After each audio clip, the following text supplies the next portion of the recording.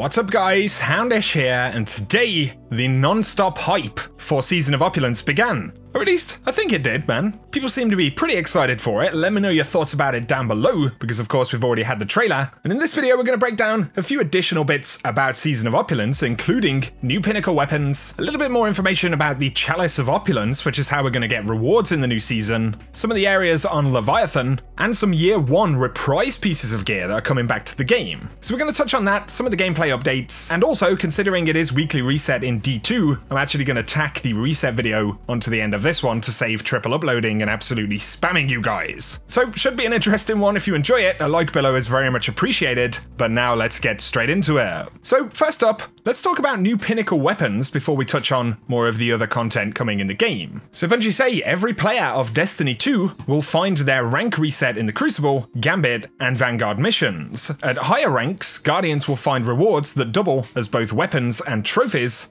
earn the right to carry evidence of your prowess into battle. So these are the new pinnacle weapons coming into the game next week on June 4th. So we've got the Revoker as the PvP pinnacle sniper rifle. And it actually carries a similar model right there to the trial sniper from back in the day. But for the bonus, missed shots are returned to the magazine after a short duration. So any shot that you miss will actually go back into the mag, but there is kind of a timer between firing the shot and getting it returned to the mag, assuming you actually miss it. Of course, we don't know other stats and things like that for the weapon, considering it is a PvP weapon, you know, hopefully it's not going to have horrible flinch and sway and stuff like that. It kind of looks like we've got, is that an ambush scope on that thing? Can't be 100% certain but it does sound like a pretty interesting weapon, so let us know your thoughts about that. The Vanguard will get the Wendigo GL3, a new grenade launcher where orbs of light increase blast radius and damage. Pretty interesting stuff, so presumably when you pick up an orb of light, or maybe when you produce them, not certain, but I'm guessing it's on pickup, you're going to get an increased blast radius and impact for that weapon. Presumably that's going to be on a timer. Finally though,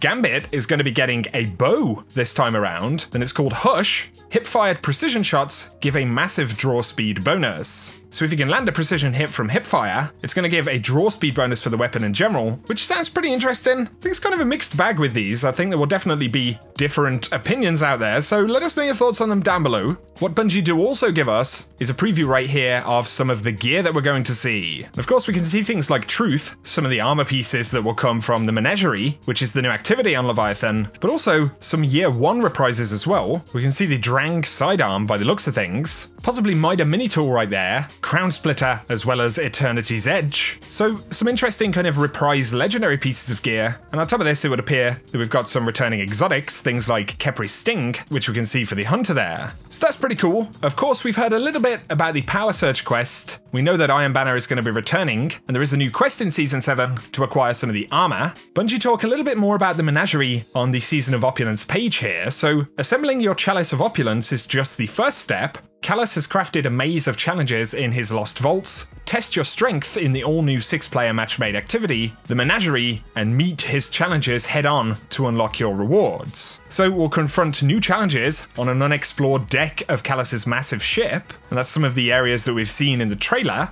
On top of this, we can upgrade the Chalice of Opulence to better refine which gear you can earn. The Chalice of Opulence is going to be a sort of upgradable item, maybe it'll work a little bit like the Holiday Oven from some of the events that we've seen, and it appears that we can see some of the icons here for those upgrades. On top of this, apparently, inside of the Menagerie mode, we'll be able to carve our way through ever-changing paths and enemies. So that sounds pretty cool, and if you do want to check out more of the trailer stuff and the reveal for the activities themselves, then I'll link my previous video below. On top of this, there is the new raid, and the page simply says seek out the most valuable treasures in the underbelly of the Leviathan, jump into the new Crown of Sorrow raid, and join the chase for World's First on day one. So a return to a section of the underbelly by the sounds of things, and then, of course, there is Solstice of Heroes, the free summer event. We'll be able to pursue Solstice armor, seek out Eva Levante in the tower to begin your pursuit of Year 2 Solstice armor. Create elemental orbs by matching your elemental damage to the daily element, collect 30 orbs to gain the empowerment buff. On top of this, you can harness the power of the elements to optimize your pursuit of glory, while Moments of Triumph is still active. So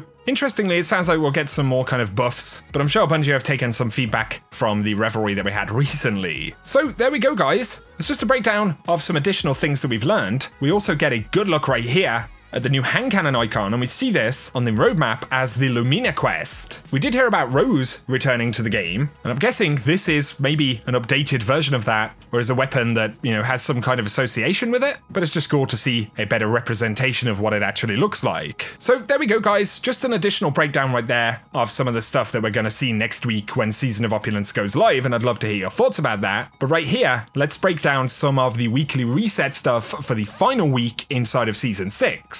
So let's do this the normal way. On the Director, we have all of our powerful drops and stuff like that available for this week. And IO is going to be the flashpoints, of course, more powerful gear, as well as heroic adventures. Now, do bear in mind, we have triple infamy inside of Gambit all week long, so plenty of opportunity to get points and do resets and all of that kind of stuff if you're still grinding. If it's Reckoning you're after though, we have Void Singe up right now, as well as Prism and Grenadier available for today. For the weekly Nightfalls, we've got the option of Warden of Nothing, the Insight Terminus, or the Arms Dealer, and of course those come with their own exclusive pieces of gear. And then we also have the Vanguard Strikes, and we've got Solar Singe up this week, as well as Iron and Brawler, but these two right here will roll out day over day.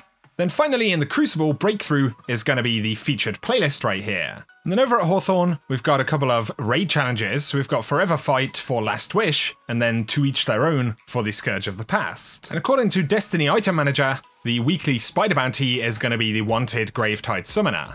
Then, of course, we have Eververse, and I'm pretty much just going to hover over these guys. I'm sure if there are any of these items that you want to pick up, then you'll probably spot them right there in the background. But of course, a lot of this inventory is going to refresh with new stuff next week, and that's on top of uh, all of the changes that Bungie announced for Eververse itself. And I'll link a video down below with further details about that if you did miss out on it.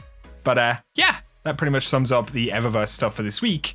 And of course, we still have a few bundles available um, for the Outbreak Prime and things like that. And the Guardian's Best Friend bundle, if you want to get a uh, little doggo emote right here, I suppose. Uh, interesting stuff. But now, when it comes to the escalation protocol, the boss this week is going to be Nur Abath. I never know if I'm saying these names right, but it does mean that we can get the escalation protocol shotgun. And that will be a random drop when you kill the EP boss.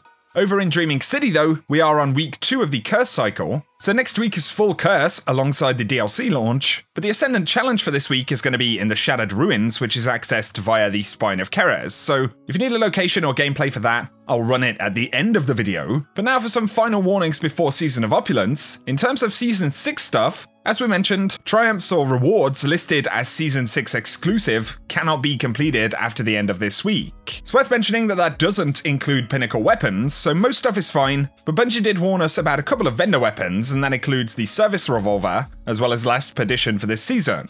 Currently, you can acquire them, but for a while after Season of Opulence launches, they won't be obtainable. They do say they'll be dropping an update in the future, which will make them obtainable once again from vendors, so something to bear in mind if you want one immediately, try and finish it up this week, otherwise it could be a little while before you can get it. Otherwise, we're pretty much greenlit to go until Bungie give us more details, and of course, I will be keeping you posted here with all of the news and that good stuff, so be sure to hit subscribe if you enjoy the content, guys. But if you've enjoyed this video, a like below is very much appreciated. Let me know if you're jumping in, grinding anything out before the end of this season, or if you're simply kind of waiting for next week. Let's chat away down in the comment section, but otherwise, thanks as always for tuning in, guys. This is is the Ascendant Challenge for this week. And yeah, I hope you have an awesome day.